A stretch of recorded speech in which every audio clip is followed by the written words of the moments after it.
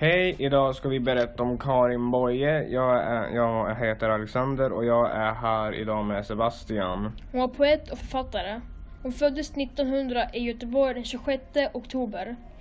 När hon var 15 år så var hon kär i en tjej som hette Eivor.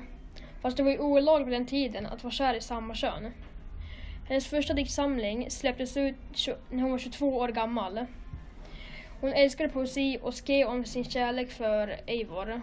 Fast Eivor fick aldrig veta om att, eh, alltså att, eh, att hon skrev om Eivor.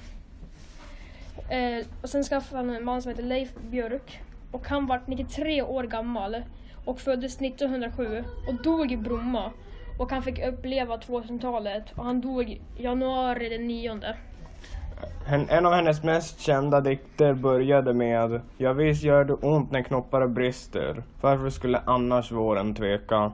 Hon skrev, Karin skrev också romaner som han, en av hennes mest berömda och sista kallade, hette Kallocain. Det handlar om hennes rädsla för Hitler och Stalin och om deras övergrepp mot, mot mänskliga rättigheter. Hon, kort efter bo, boken släpp, hon, mådde dåligt länge och kort efter boken släpptes så tog hon livet av sig vid 40-årsåldern. År 1941, den 24 april. Man vet inte säkert hur hon, dog, hur hon dog men man tror att hon tog livet av sig. Men man är inte helt säker. Det var allt vi hade för idag.